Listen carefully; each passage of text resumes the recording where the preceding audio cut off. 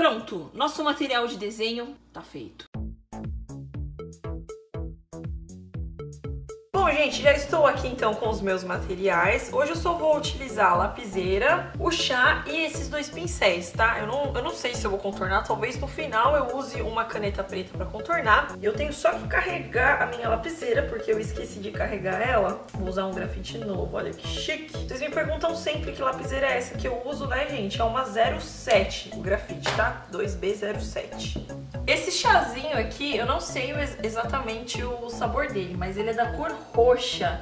É, ele chama Passion Tazo. Não, é uma delícia, é o meu chá favorito. É o chá que eu tomo todo dia de manhã. Eu parei de tomar um pouco café porque o café tava me fazendo mal, sabe? Eu tava ficando muito agitada. Daí eu resolvi parar de tomar café e comecei a tomar chá. Daí eu coloco um melzinho, coloco um limãozinho e tá tudo certo. Eu pensei em desenhar um cavalo. Na verdade, eu vou desenhar um cavalo, já estou rascunhando. E aí eu vou colocar alguns apetrechos nele, não sei exatamente o que ainda, gente. É, eu acho que vai ser legal fazer um cavalo com o cabelinho voando, sabe? Tô usando também uma folhinha para aquarela, que é aquela folhinha mais grossa, que essa folha vai ser resistente à água, né? Porque é praticamente uma aquarela esse, esse pintando com chá. Então tem que ser uma folha que resista. Se você for fazer na sua casa, eu recomendo que você faça... Num, se você não tiver uma folha própria para aquarela, porque essas folhas são um pouquinho caras, né?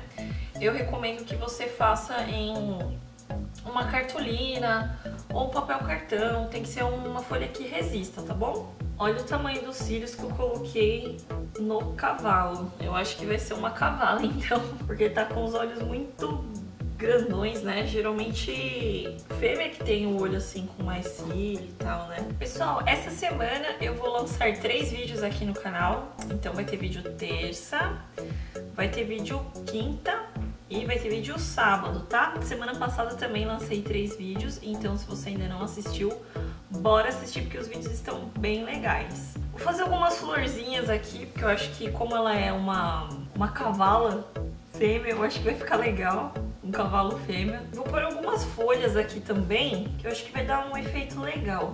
Eu gosto de colocar às vezes algumas folhas, flores para fechar o desenho, acho que fica bonito. Eu vou lançar também um desafio Tia Rê, que faz tempo que eu não lançava aqui no canal.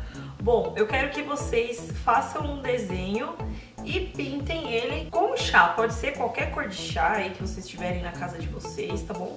Mas tem que ser pintado com chá. Vocês vão me marcar lá no meu Instagram, Renata Série, com a hashtag desafio Tia Rê, tá bom? E aí eu vou postar os cinco que eu mais gostar lá no meu stories, vou marcar vocês também. Hoje é dia 30, então vocês podem postar até o dia 10, tá bom? É dia 10 de maio de 2019, beleza? Vai que você tá vendo esse vídeo aí muito tempo depois também, né? Agora que eu já fiz o rascunho do cavalo, da nossa cavala, sei lá como que a gente pode chamar isso, eu vou começar a colorir ela com o chá. Esse chá é muito cheiroso, gente, vocês não têm ideia. Eu gostaria que vocês pudessem sentir o cheirinho daí. E olha só como que ele é forte. Eu nunca fiz isso na minha vida, eu espero que fique legal.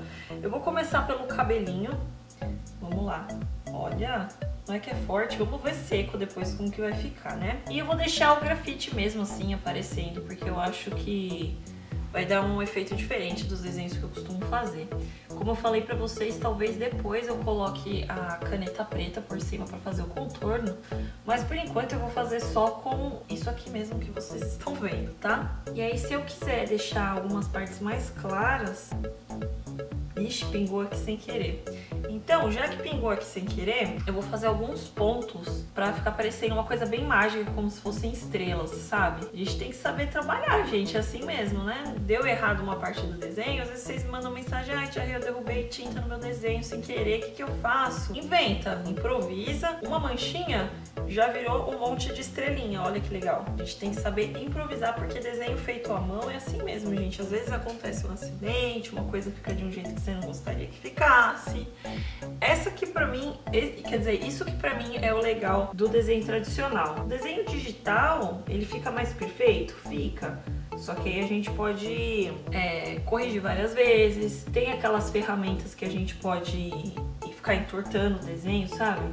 Por exemplo, eu fiz o desenho, daí eu não gostei tanto do tamanho da cabeça. Aí eu vou lá em aumento só em uma ferramenta. No desenho tradicional não tem como, errou já era. Então tem que saber improvisar também. Desenho é um pouco de improviso, né? Sabe o que, que eu vou fazer? Eu vou pegar uma outra caneca e vou colocar o saquinho aqui do lado e vou só espremer o saquinho pra ver se a cor fica mais forte. Então tá aqui, gente. Peguei outra caneca, passar pra cá e vou pegar a cor direto do saquinho, porque eu acho que pode ficar mais forte, né? Então só uma espremidinha assim, um próprio pincel. Nossa, gente, ficou super escuro, olha! Caramba! Ah, não! Desceu pra baixo. Tudo bem. Não tem problema, faz conta que os olhos dela estão brilhosos. Daí eu vou pegar um pouquinho aqui também pra passar na parte do nariz, pra ficar mais escurinho. E também aquarela, tipo, eu achei que ficou muito escuro. Daí eu posso, ó, dar uma apertadinha aqui pra tirar o excesso. E aí volta a ficar mais claro, ó, tá vendo? Gente, eu tô um pouquinho decepcionada com esse com esse chá, porque quando eu passo ele, ele fica com uma cor linda, ó, tá vendo? Fica super, super roxo. Só que aí na hora que eu coloco Quer dizer, na hora que ele seca, ele começa a ficar cinza. Então o que, que eu vou fazer? Eu vou tentar esquentar um outro tipo de chá que eu tenho aqui e vou colocar, que é um chá verde. Vamos ver se vai fazer alguma diferença no tom, né? Já volto. Voltei, gente. Agora eu tô aqui com o chá verde, que nem parece verde essa cor, né? Parece mais um marrom, mas é o chá verde, tá? Chá verde comum. E com o chá verde, eu vou mesclar o rosto, né? Vou tentar fazer um sombreado aqui. Gente, não sai cor do chá. Olha, sai bem fraquinho, parece um amarelado, sabe? Ah, mas já dá um tom diferente no desenho, né? Eu coloquei bem pouquinha água nele, porque eu acho que se eu colocasse muita água, a cor quase não iria sair.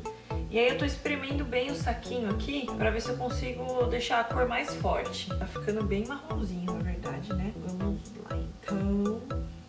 Eu vou colocar mesclando assim, uma forma bem aleatória para dar um efeito tipo aquarela mesmo, como eu faço aquarela. O chá roxo, ele é bem, bem, bem mais forte do que esse aqui, então eu acho que vai dar um efeito bacana para completar. Daí eu vou deixar algumas partes em branco para dar um efeitinho de luz, sabe? Tipo o centro do rosto eu vou deixar em branco, mas o resto eu vou preencher. Isso daqui que eu fiz no fundo seria como se fosse uma coroa, sabe? Aquelas coroas diferentonas que são redondas assim. Então eu vou preencher com um pouquinho desse chá verde, que tá mais pra chá marrom.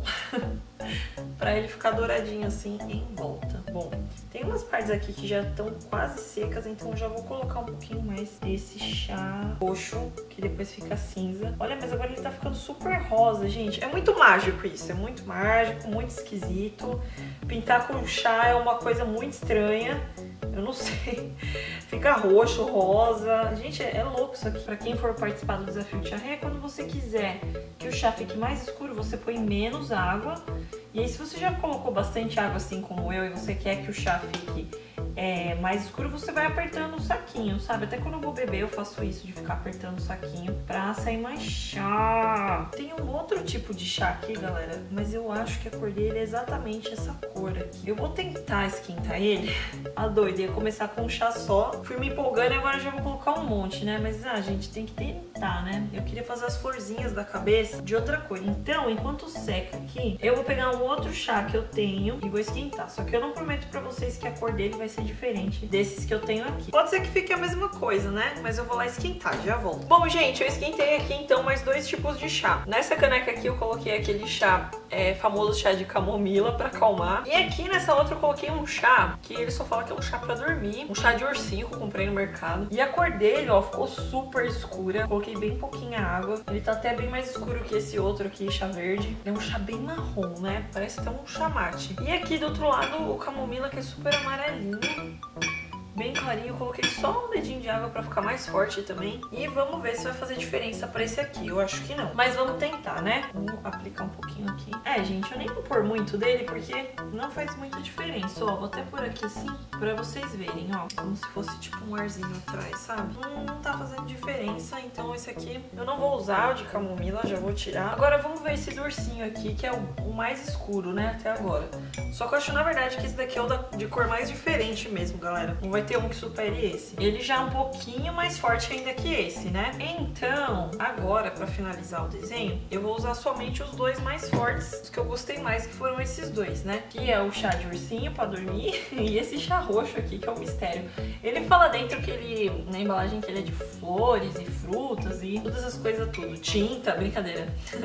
Mas vamos lá. É, vou pintar esta parte aqui. E as flores, eu vou pintar mesmo com esse, esse daqui, com roxinho que fica pretinho, né? Que é o que vai dar o efeitinho mais legal mesmo. Olha, gente, eu gostei dessa experiência de colorir com o chá. Eu achei interessante. As cores ficam bem clarinhas, como vocês podem ver. Não dá pra gente fazer uma variação grande de cores, né? Com os chás que eu tinha em casa, foi o que deu pra fazer, né? O que, que eu vou fazer assim que secar? Eu vou esperar um pouquinho secar e depois eu vou vir com um lápis grafite. Eu vou fazer alguns pontinhos assim, porque eu acho que deu um efeito legal. Depois eu vou vir com um lápis grafite, né? Não vou usar minha lapiseira, porque ela não vai dar o efeito que eu quero. E vou fazer o sombreamento do desenho e tudo mais usando só o lápis pra gente ver como que vai ficar ele finalizado. Porque por enquanto ele tá só no esboço, né? Eu disse que ia deixar assim mesmo, mas como é muito fraquinho o, o chá, eu vou vir com lápis depois pra dar um acabamento mais legal nele, beleza? Então agora a gente vai esperar secar. Eu só vou fazer um negócio aqui. Eu sou aquela que fica ajustando os desenhos toda hora, sabe, gente? Vocês são assim também? Então eu vou esperar secar, já falei mil vezes que eu vou esperar secar.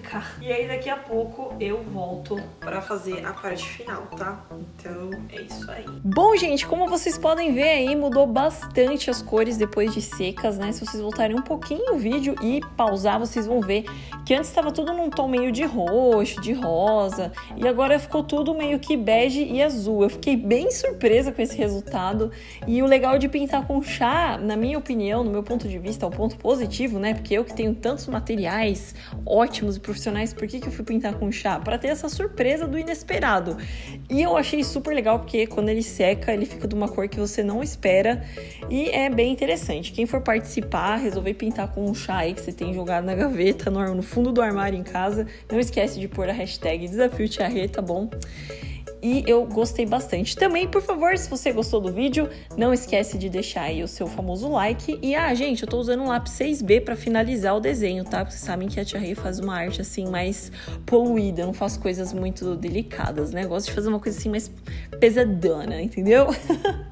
então é isso aí, galera. Eu vou ficando por aqui. Vejo vocês no próximo vídeo. Assista, por favor, esses vídeos que estão aí no canto da tela, que eles estão bem legais, tá bom?